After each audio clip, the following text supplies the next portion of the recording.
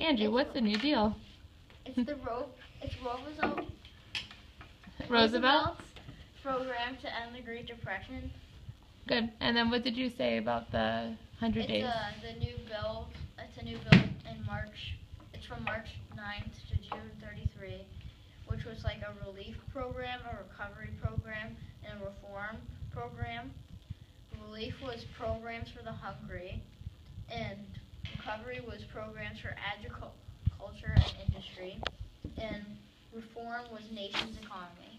Good. Um, so what we can add there for relief, that would be immediate. Okay? So you can add that to your notes. And then for long term, that would be recovery. And then the reform is to change the actual structure of the government. Yeah, I didn't write, I didn't write everything down. I know, but that's for your notes. I, I that way mean, you I have didn't it. say everything. Oh, gotcha. Yeah, I just had it written down. Good. Um, so you had exactly what I wrote for the 100 days, that it was March 9th to mid-June of 1933. Um, it was the first 100 days of reform. So, like, it was 100 straight days of Congress making many new laws that fell under the New Deal program. Jake, can you tell us what the Dust Bowl was? The Dust Bowl was a 50 million acre region that faced a drought, heavy winds, and dust storms. Good. And what impact do you think that's going to have on the farmers? Uh, like what type of impact or what the Yeah, impact? or well, either way. well, geographic impact and economic. Good. Since Okay. they can't make any crops. They were poor after that. Good. So that led to part of our clauses, They all right? moved to uh, California, and then California became overpopulated. Good. Um, Clark, do you want to tell us about the Social Security Act? Absolutely. Um, the workers and employees made so payments into a special fund. Say that again because I interrupted you. Workers and employees made payments into a special fund. Good. And do we still have that today? Do you know? Yeah. I think so, yeah. Yeah, we do. And people rely on it for retirement. Yeah. Now, like if you, if Back then, it your was not supposed to be long term. It was I know, like if they know your security number, can't they like steal your identity? Well, yeah, that's a huge issue across the nation. But so this is Social Security. It's um out of your paycheck, you get like a portion of it taken away and put into an account by the government that they manage. So it's like a forced savings account with the federal government. And after you retire, you get that money back. Wait. So you get like Wait, do I have a social Help. security Oh, yeah. number? yeah, how you're born money when you you're born you get one. But after you start working, that's when I want it. yeah. Wait, I have a job, so. There are always those commercials. a lot because people are living a lot longer. So if you retire at 65, then if you live for another 20 years, right, without a job, then you have to have enough money to last you for 20 years. I actually rather like live shorter and like retire earlier. Oh, that's nice. Why? Life's questions in social studies. Awesome. Okay, so question number one. Question number one. Um, who feels comfortable sharing their answer? Yeah?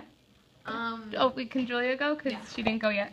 So, how did programs like the PWA and CCC help both uh, those who were hired um, and the nation as a whole?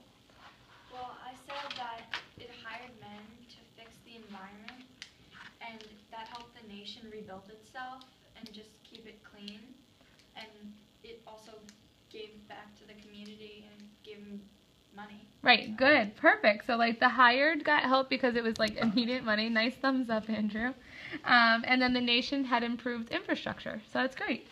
Uh, number two, why did Roosevelt declare a bank holiday? Go ahead, Elena. Um, to restore confidence in the public by telling them that the banks were okay and he checked the bank's money. Yeah, it gave them a chance to like catch up almost. Yeah. Stops them So- stop them from withdrawing their money. Yep, regroup and reorganize is a good way to uh, to define it. So like the bank needed to close so that like people would stop trying to withdraw their money and that they could actually recoup and say like, okay, we have this much, we're failing, so either we need help from the government or we need to join a bigger bank um, or we need to close completely and that gave them a moment to like just breathe and like figure out what their problems were so that they could identify solutions. Did the banks themselves decide that they wanted to? No, the federal the federal bank probably uh, the federal government had um, standards that they had to meet to be able to reopen.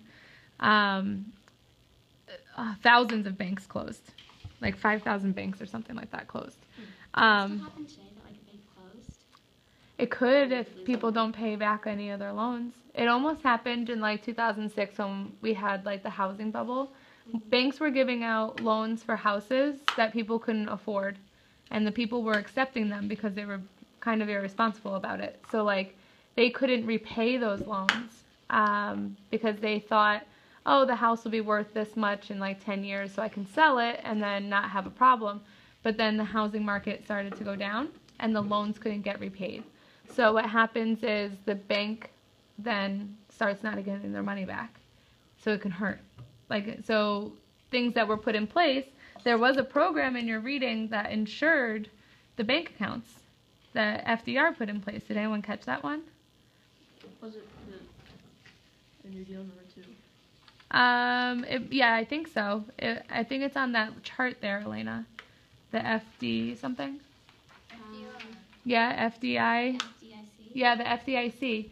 So like it now there's a government program and that's still there. So that's a reform program because it's still around. Um, that insures your bank account up to two hundred fifty thousand dollars, so that it would prevent something like this from occurring That's what again. you were talking about But you need a new bank account, like, well, like since. Well, yeah, if you have more than that, then you want to make sure that you Wait, you move your money Why to be in separate money? accounts why keep your money in a bank then?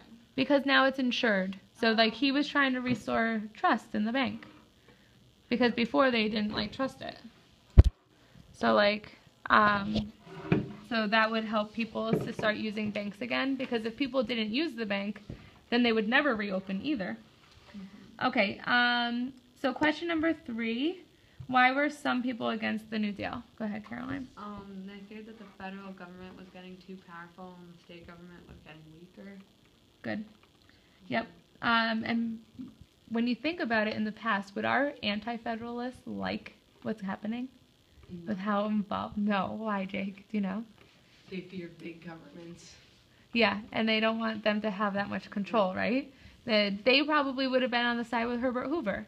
So like, Herbert Hoover wasn't necessarily wrong. It's just that his reaction and no action led to the depression, led to the recession getting worse and worse, and that's what it just over time it ended up being a depression. I feel like we just jumped so far in presidents. We were just at Abraham Lincoln, I know. and now we're on. We were just at George Washington. no, because and now we're- the Civil War. Like, we were right next to it. Oh yeah, that's right. I know we went from Revolutionary War to Civil War to FDR was president during World War II. So we're Wasn't the. Midwest hit the hardest though in the Great Depression? Yeah, I would say it was hit pretty hard, but so but you could make an argument for that because the farmers might have been hit hard, but then what about the people living like in the cities that like invested and lost lost their jobs? Like, where are they gonna go? Um, okay, so then the last one, or number four, says how did the Dust Bowl impact America um, economically? How did it impact them? Go ahead, Clark. The, the drought reduced production agriculturally. Good. So agricultural uh, went down, so it was harder to get food, especially in the Midwest. So that's what you were saying, Andrew. Um, geographically, the Dust Bowl. Go ahead. Go ahead. It destroyed crops and plains. Good, and then it left um, like um, about a million farmers to move west, right, to California by the end of the 1930s because the farms failed. They couldn't stay there, so they all started moving even further and further west. Um, the last one is opinion. Um, so, which of Roosevelt's New Deal programs, either the first or the second New Deal, uh, do you think would be the most beneficial to Americans during the Great Depression? So, what do you think, Clark? And some of you might disagree. I, I said number two, or because uh, what the people needed were jobs and like uh, like opportunities to make money, and that's kind of what the new the New Deal number two did. Okay. So like on the So that immediate relief of getting people back to work. yeah. um, Imagine how depressing, right? For the sake of a better word, it must be if like 30% of the population is out of work and they can't find a job. Wait, Like it, people when you live your life, like people feel like identified by their job. So like if that many people lost their jobs, then that's not that's really hard. How much percent has a job now? I think we're 7% unemployed in America. so that's like That's pr- still pretty high. oh, That's I still pretty that high. I think it's seven percent. I would have to double check. Yeah, it. You want it to be like two or three. You want it to be zero is ideal, but like you want it to keep going down. You don't want it to keep rising. Um, Isn't it? maybe it is two or three now. It was at some point seven. I don't know. Don't quote me. okay. Um, okay. So you think the second New Deal? Did anyone think that the first New Deal was the most important? I do. Okay. So do you and Lena want to look at your answers and just make sure you're both just look at each other's and see if you guys can come up with like a summary? Yeah. I think it was one of the first major acts and it. it meets like the basic needs of people. Good. Elena, did you have anything to add? Same thing. Julia? I agreed with Clark because if number one was good and beneficial, then why would they make a second one? Right. So they obviously needed something more, Yeah. right? Because the depression is long term. So that would be very logical, right? So like if they needed to continue on with more issues. Typical And, uh, Andrew. also- Also, like, I get that. like kill your phone battery. That's alright. Spirit cup.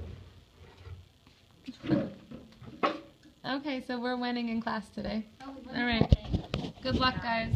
Make sure you do your work.